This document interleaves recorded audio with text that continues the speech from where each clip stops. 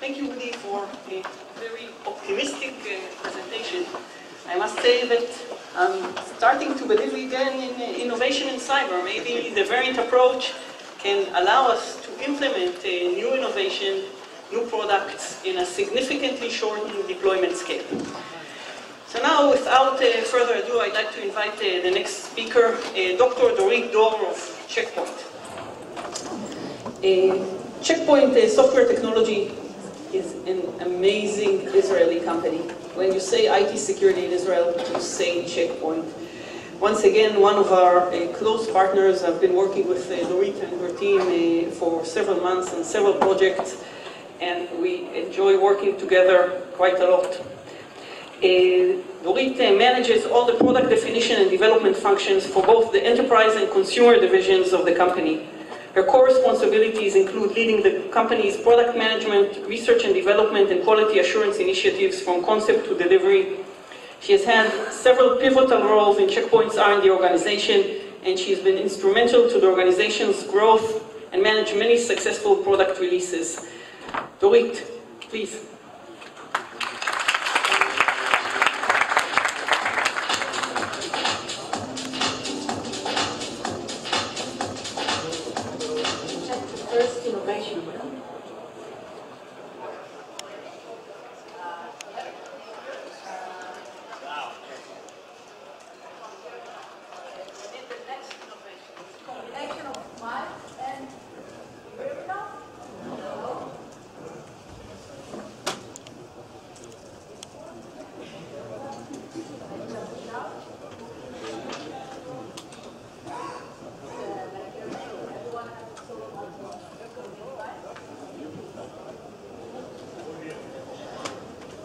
That's really going to be terrible.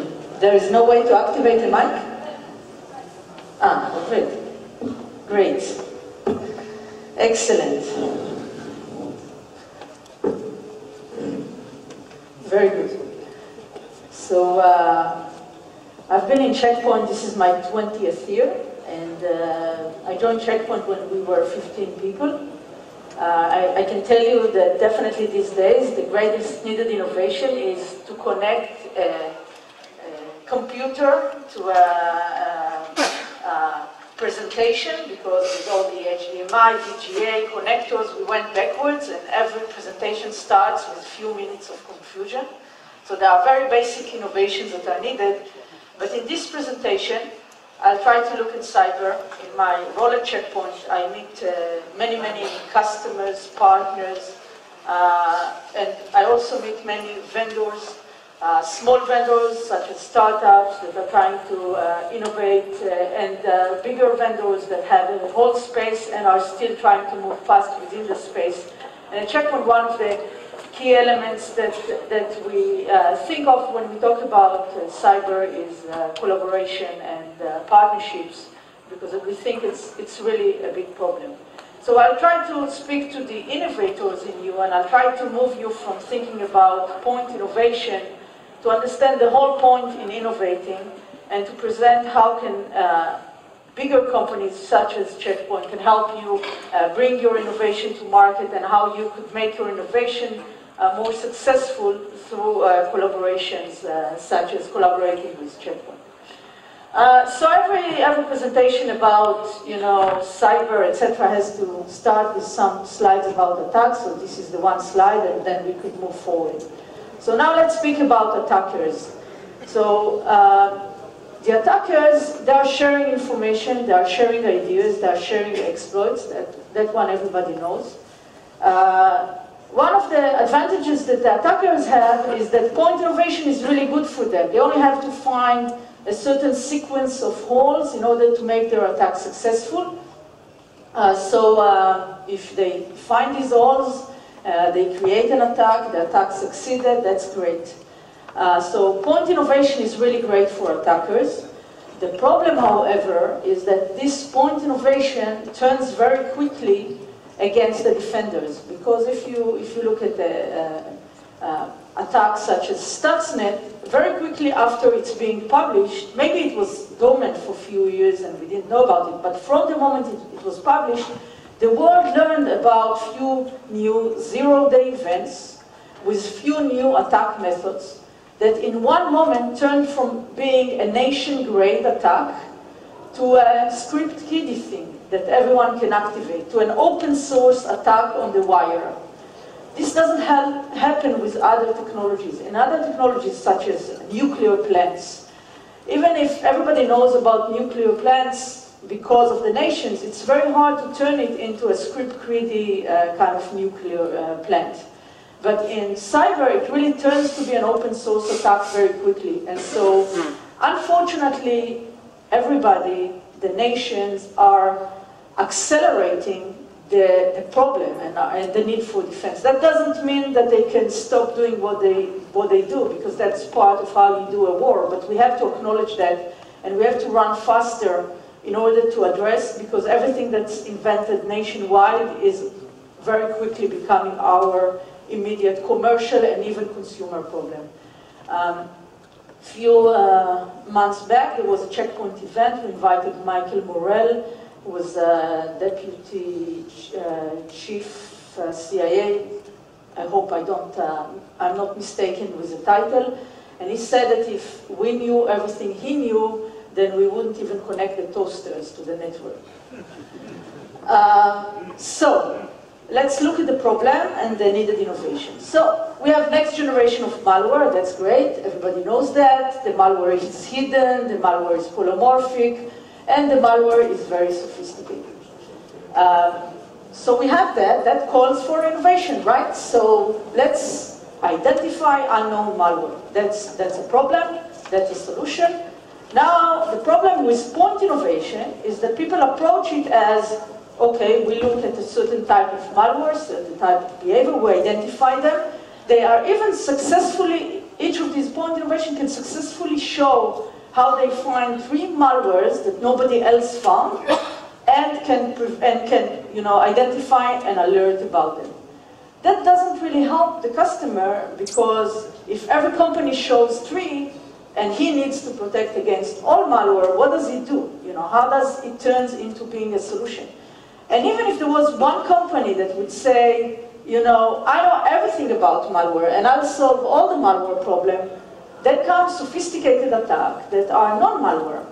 And how do you do sophisticated attacks that are non-malware? You start with, for example, identity. Um, you, you move around lateral movement, it's being called in the organization. You go from one point to another, and you attack the whole organization without having malware. So by creating to every attack a solution, we get to a place where there are many point innovations that are very hard to prove.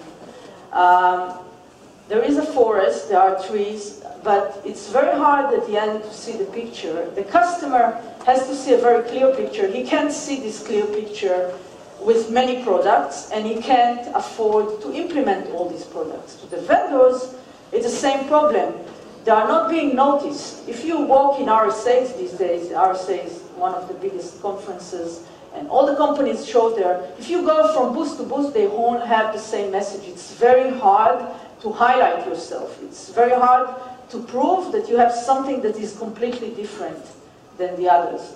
So we need a little bit different things, and, and it starts with the customer. What is the customer problem?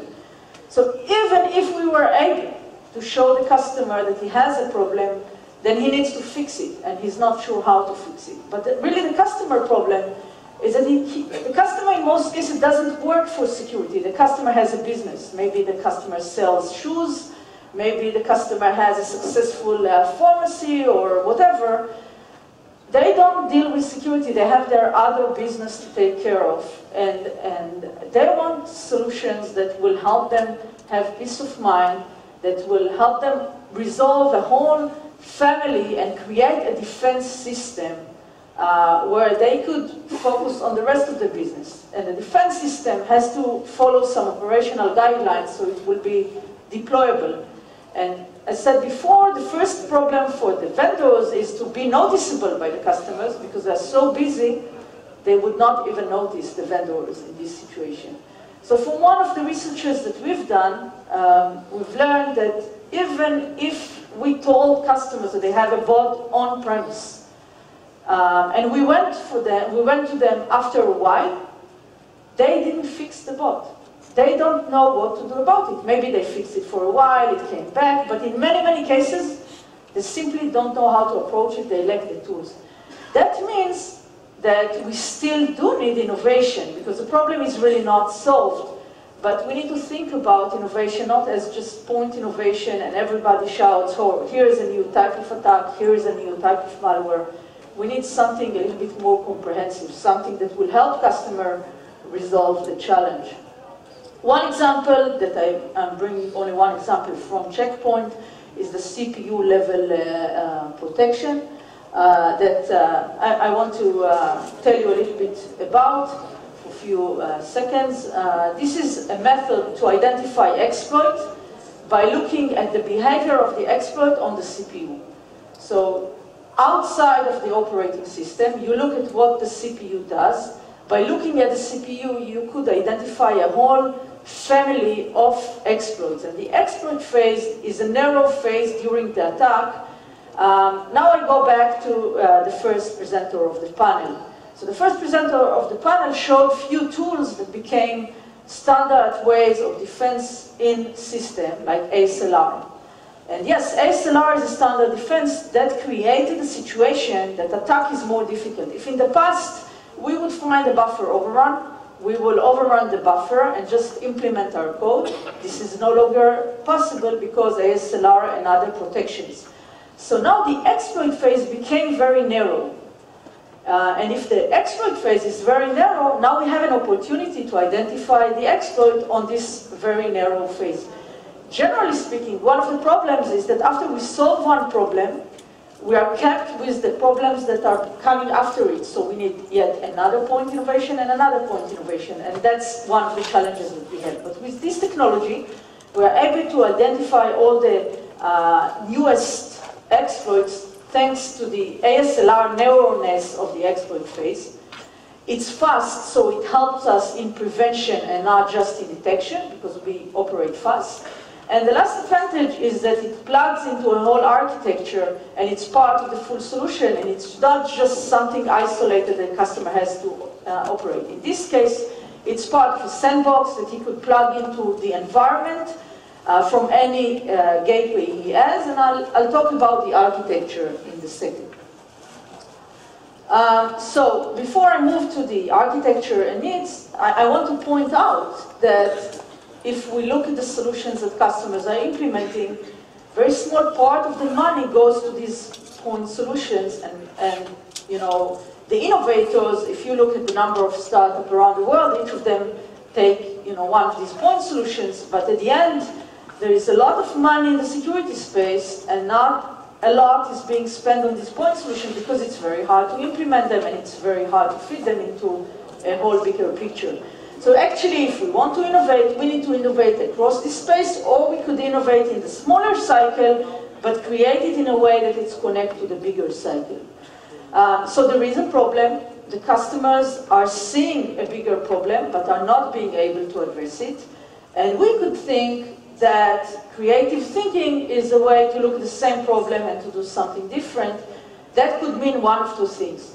We could wait for a, like a moment of uh, spirit and, uh, and wait for something that we will say we have X and X solve everything. Maybe there will be such X. I don't know of such X today. I know many attackers, um, and uh, I know that they are doing everything they can on every X to find an anti-X. So I think it will continue to be a battle.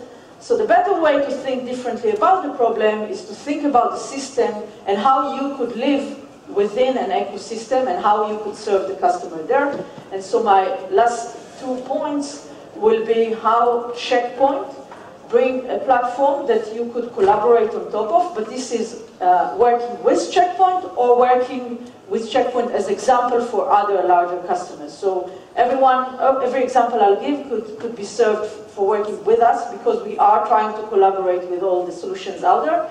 Or could be an example of how you could collaborate also with other architecture and technologies. So when we come to a customer, first question the customer asks us is, what would I do about this security? How would I implement it? Um, and we, we've had this discussion with many customers to the point that we realized that we have to present a proposal of an architecture to them. And we came with this proposal of software-defined protection that have a, um, an enforcement layer, that have a control layer and a management layer, and each layer we created the plugins and, and explain how it connects to the environments and to the other solutions. When we come to the customer and we picture such an architecture, and if the customer bought our architecture, if you are now an innovator, you need to know how to live in this environment. So this is our proposal to the customers and they find it very useful.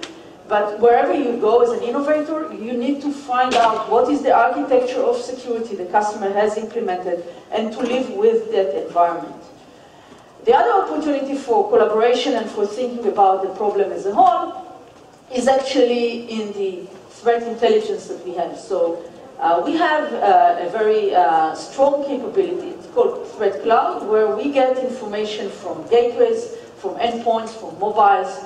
Uh, we have sensors out there, we have uh, analysts and researchers with automatic tools and uh, manual tools that look at this data.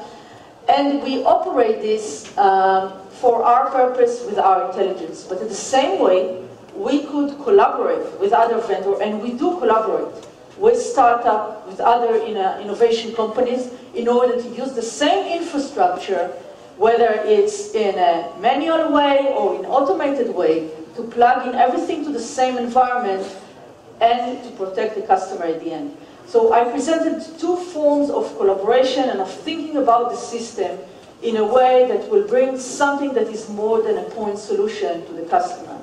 So yes, you could wait for a moment of aha and find a solution without an anti-X for it. Or you could look at security architecture and look at how you could collaborate with other intelligence, with other protection environments, and create an holistic solution for the customer. Thank you.